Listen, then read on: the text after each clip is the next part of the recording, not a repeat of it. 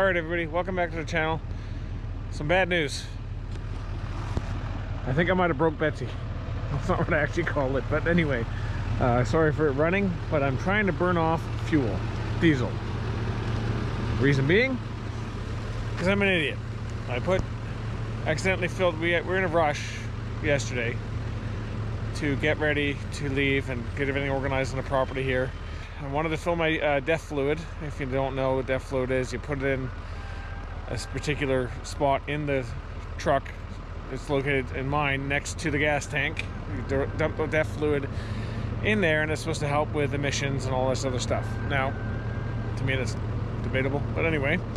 So, what I did, because I was in the middle of doing a bunch of other stuff, and in a rush, I accidentally poured about a liter of that, which I don't know what that is American um, or imperial. No. Anyway, I don't know what that is uh, in any other measurement. So a liter into my diesel tank. Yes.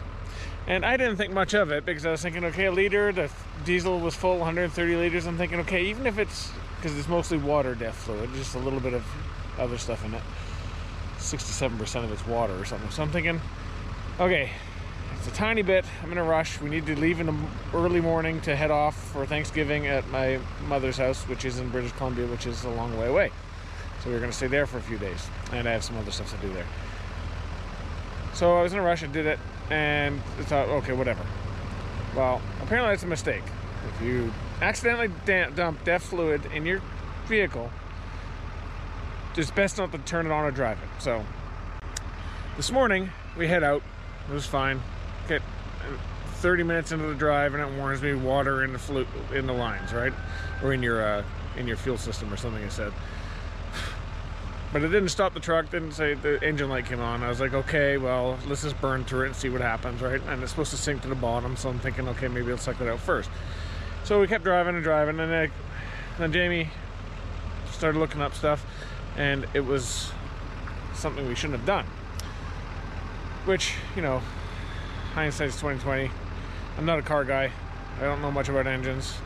Uh, in the old, I, all I know is I watch stuff with tractors and all that stuff in diesel, and they're sitting in the woods for 50 years, and they throw some new gas and some oil in it, and they start up. So this didn't really worry me, but uh, it can corrode apparently your uh, cylinders. It can do something with some sort of uh, fuel pump, the fuel pump, high pressure fuel pump. It can corrode that because uh, I don't know if you've if you've used uh, before or you spilt it, you know it dries up into that crystal stuff. Apparently, it can do that on some of the parts in the in the vehicle. Now, the truck is running fine. It threw it into kind of a limp mode, right where it's not quite as powerful. But that's all it did, uh, and I can still go like 110 kilometers an hour on the highway, which is 110 and stuff. So I wasn't worried about it. So I just drove a lot more today because I took it to the dealership and they have nobody that can see me or any of the car place around here for at least a week. And they said, well, the damage would have been done already for the most part. And since it's not a huge amount, they said burn through it, put some diesel cleaner stuff, whatever, uh, in, in, in the diesel tank. It helps get rid of moisture, it says in the bottle and all that stuff, out of the gas. So that's what I did today we drove a lot it's gotten like half the mileage out of it so it is definitely burning more fuel. It doesn't feel horrible. I mean it goes through a stage where it does kind of feel slow so I'm just hoping it's getting rid of the stuff. It could be just breaking the cylinders but apparently I would have had to have done that. Oh yeah by the way the window's still broken. We're taking that tomorrow to get fixed. Uh, jeez. Well I tell you it's been a couple weeks two or three weeks now. It's just been one thing after another. I mean, obviously this is my fault, but uh, anyway. So we take it there, and he said just burn through the tank, throw that stuff in the in the uh, oil or in the gas, uh, diesel, and then just drive it until it's empty. Refill it and see what happens, and change the oil filter or the fuel filter as soon as you run through the gas, fill it, and change it the fuel filter out. And we'll see, and then they'll run a test diagnostics to see if there's anything it's air coating on, right? Uh, hoping that my one-year-old truck, which doesn't look like one-year-old because it's so dirty, uh, doesn't need $10,000 worth of work. Apparently, it can cost up to Canadian, eleven, twelve thousand dollars to fix this. For one liter of DEF fluid, that probably cost me two to three dollars Canadian. So yeah. Anyway, so what I've been doing is just letting it sit there and idle, which isn't great for vehicles anyway. But I've been driving most of the day. It's not dropping very fast, so I may just turn it off and I don't want it in the system and just drive it around again for a while and burn through it. Because uh, like I said, the engine light's on. It does restrict the speed at like 120 kilometers an hour, which in miles, I'm not sure what that is. Um, probably 90 or something, I'm just guessing now. But anyway, so yeah, and that's what I got out of the tank in kilometers, which I normally on regular driving highways I get 11 uh, liters for every 100 kilometers. So it works out to be about 1300 kilometers out of a tank. And as you can see the tank is less than a quarter. So something's funky. Um, I'm really hoping I didn't F this up real bad oh and before I forget uh, the solution by the way if you do that or if you put like even if you put like regular gas by mistake in your diesel vehicle which might be common sense for most apparently not me today uh, or yesterday technically uh, is to not drive it and have somebody come and pump it out. They don't even start it apparently so just either get it towed to somewhere to do it or I don't know if there's mobile places probably not that can pump out your tank and then uh, you know that clears out the system right? Okay so it's the next day and I took this to get the fuel filter changed and I did that and I ran through a whole tank of gas yesterday with it. And then I got uh, then to change a fuel filter but the place I took it to was supposed to have uh, fuel line flushing for it, trucks and stuff. And at that particular location even though they said they did didn't have that so or couldn't do it anyway for that day so I did the fuel change. It still pops up that there's water in the system, but it's not throttling anymore, and there's no other signs of anything right now. So I, what I'm going to do is I put more fuel uh, line cleaner stuff in the tank as well because I put more diesel in it today. Uh, it's running better. It's not uh, limiting your speed and all that stuff now. So I think it's working through the system. Long-term damage, I don't know. The engine light's still on, but it keeps popping that water and fuel thing when I start it only, not when I'm driving, and it was doing it all the time when I was driving uh, before. So I think it is better, but I have to take it in for them to look. So I'll, I'll let you guys know about that. And the other thing today we got done, very expensive day so far, is uh, the windows fixed. So the guy did the window. Nice. So we're done that. I got this little beast going. I have the brakes down on this too. We'll have to get the brakes down on that soon because uh, they're really, really, really low. And uh, yeah, and then uh, my food truck is running today in British Columbia where we were going to head to, uh, and the generator broke. So and then they deliver a new generator, uh, rental place. It's going to switch out uh, and do some maintenance on my one, and they won't power all the plugs because it's not set to 240 or something. So 240 volts. So yeah, and the staff don't know how to deal with that. We're at one of our big, biggest events, especially for this time of year. It's one of our biggest events. So yeah, it's a nightmare. Tell you, this has been a challenge. Anyway, I thought I'd update you on that stuff. I know it's boring and some people don't care, but don't put that fluid in your engine. Uh, your gas, I mean. So, or your diesel or gas, whatever. We wouldn't put it in a gas car anyway, but so just don't do it. Uh, Buddy's out. Buddy! Buddy! What are you doing? He hasn't been out in ages. I don't know if Since the first day we put them over in their pen. Buddy, come here. What are you doing? Yeah, you gotta go in, bud.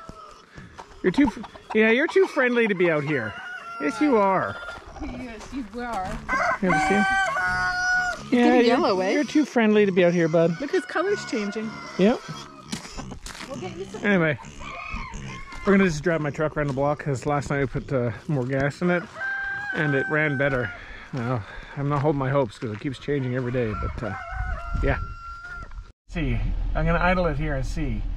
You guys can see in the mirror. I'll zoom in if I can, and you can see the see the smoke coming out. And it does come out black sometimes too.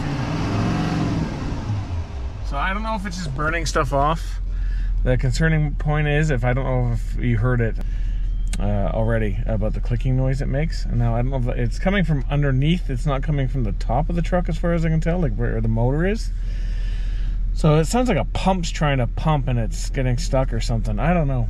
I mean, I'm no, I'm no mechanic by any stretch, obviously. Otherwise, I wouldn't have drove with the damn fluid in there to begin with. But uh, yeah, so it is definitely burning off stuff it's not supposed to be. Yeah, see that? You can see outside there. So I don't know. We'll find out. I'll keep you updated. Uh, it'll be a while before I take this puppy in though, because I got so much to do. So yeah, I was hoping today it would burn cleanly again. It smells like that. I did put that cleaner in it though, and it smells like a cleaner solution burning. Martin's in the mood today. He's uppity. He is uppity today.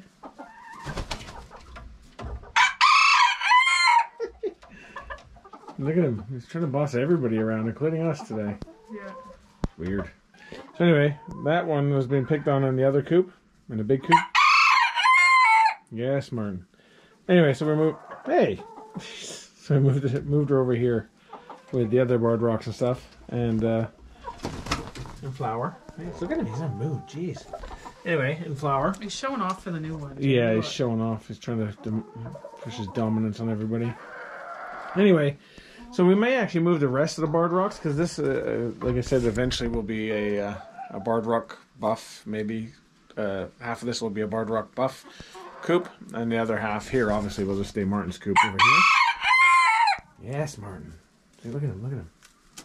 Look at him. He's in the mood. He's gonna get me. Watch. Look at him dropping a wing and everything, and looking at me. Yeah, he's like, I'm the dominant one here. Chickens. Anyway, they kind of wear me out sometimes. These are from, uh, like I said in the, well, may have said already in another video. These ones here. Oh, he's squaring off.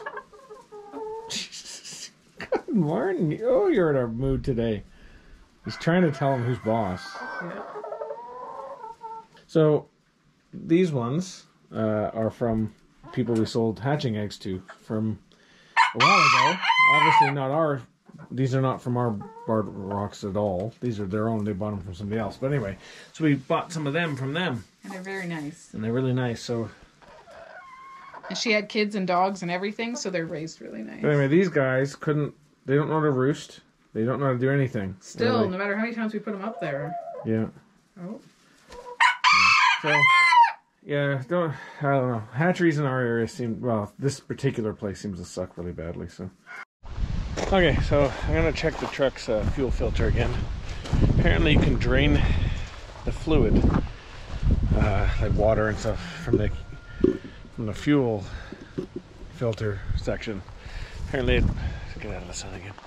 Apparently, it separates everything. So I'm gonna go into the truck this time and see if there's more because it's still blowing smoke. Uh, again, I went back to the dealership and they said just to keep driving it for now. They said it won't do any, it shouldn't do any more damage unless I hear a lot of clunking or something from the injectors or something. Then maybe I should, not maybe, then they should don't keep pushing it. But if it's intermittent, they said it may clear itself. So they said just keep driving it for now. And uh, sorry for the wind, guys. It could probably get noisy here.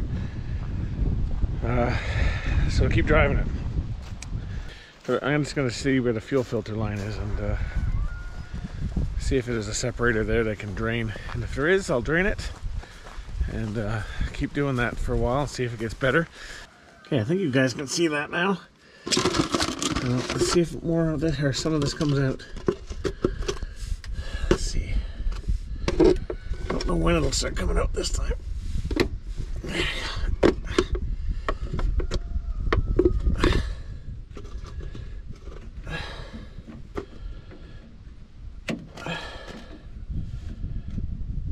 Okay. Well.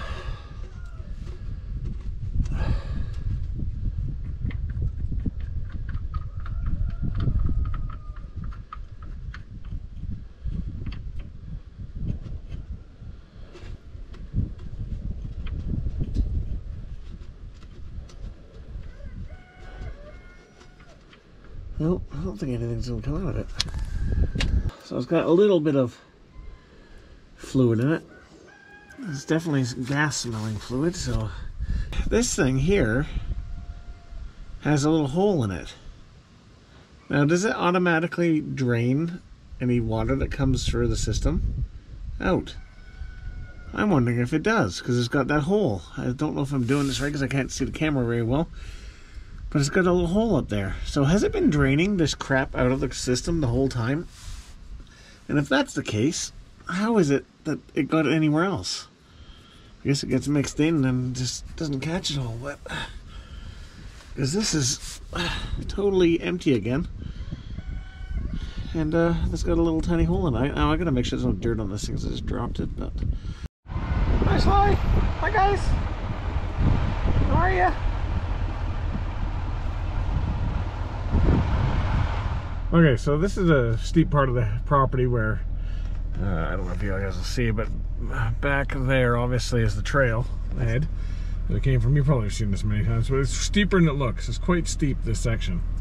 So I'm gonna go up the hill here with the truck and give it a little bit of gas and see what happens with the uh, knocking. I guarantee it's gonna be there. I just wanna know how much worse or better, hopefully, it is. So I'll let you see the, the window again. There it goes. See, there's the smoke. That beeping is a seatbelt warning, guys, not uh, anything else. So, that was better than last time. So, not bad. I haven't driven around a lot today, though, so that could be another reason why it sounds better. Hold on, get the seatbelt on so the beeping doesn't continue. Also, that little smell, I can smell the chemical smell. He said that's probably from the stuff I put in the engine. So he goes, that could be causing a bit of a, if it's too strong, because I put two batches in and, and, two tanks, that it could be causing that uh, alignment issue with the injectors or something too. So he said, just wait until you burn through all this gas and stuff to get it out of your system. See if it's better.